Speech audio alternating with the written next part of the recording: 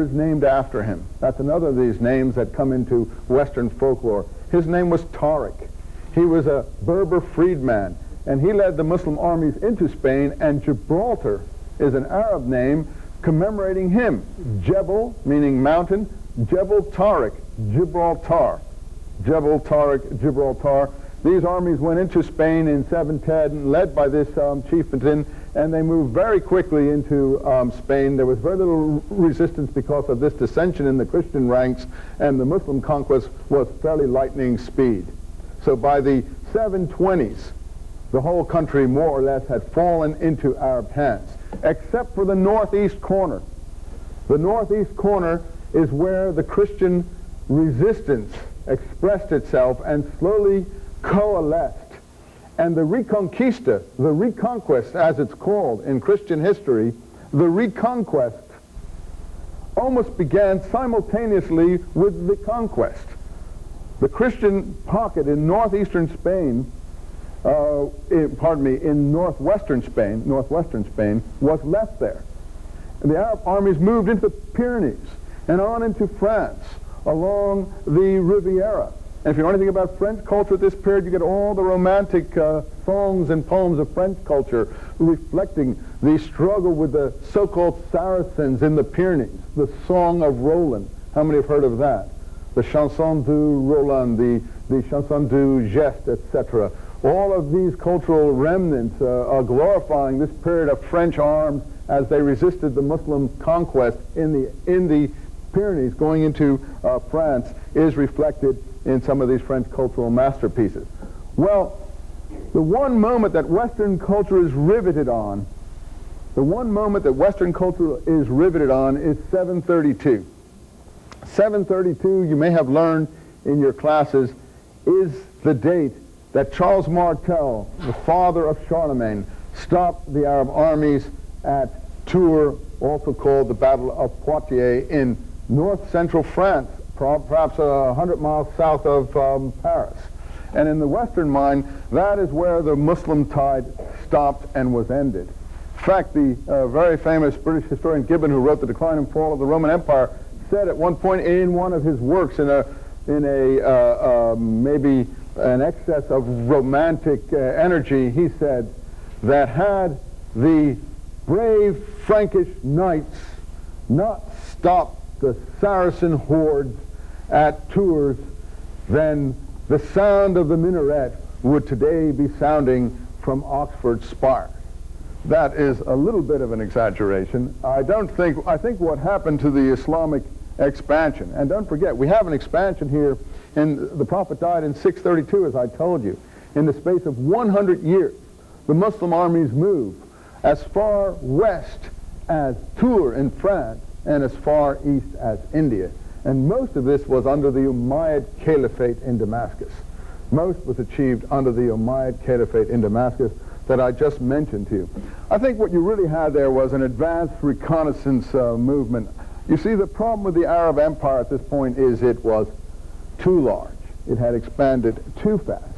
And it really didn't have the infrastructure to, sur to survive. As soon as it had reached its maximum, it began to implode it began to implode and fall in on itself because in order to sustain a, an empire uh, of that grandeur and that magnitude, you really need uh, the logistics, the roads, the infrastructure, the communications.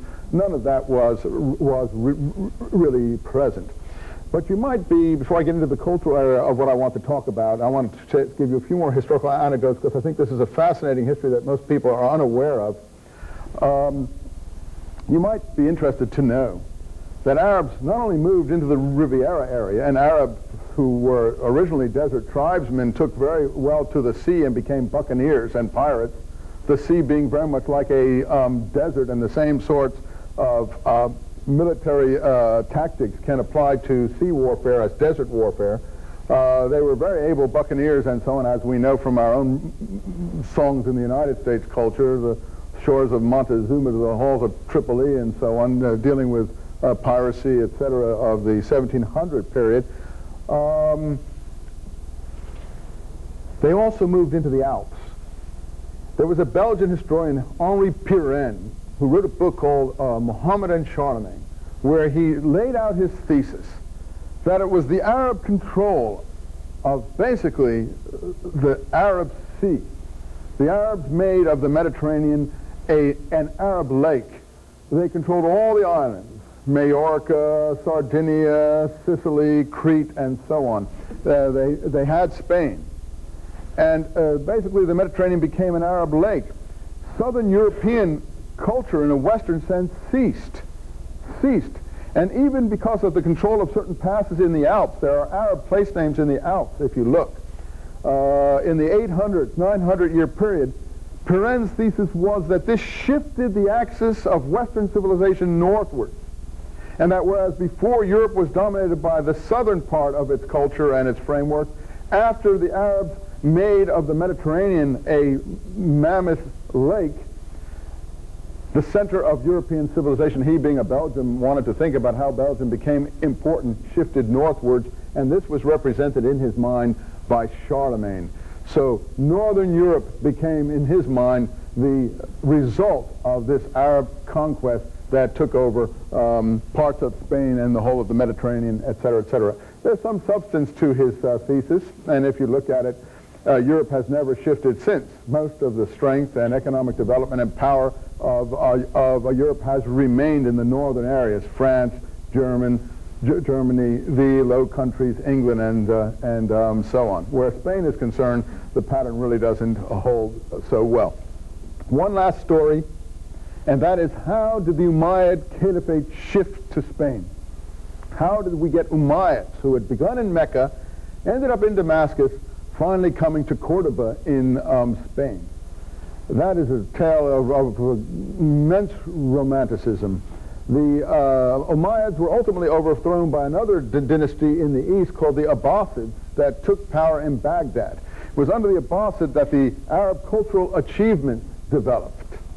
And we'll talk about those Arab cultural uh, achievement that, achievements that moved to uh, Spain that formed the background of the Western cultural achievements that resulted in the Columbus voyages in a moment.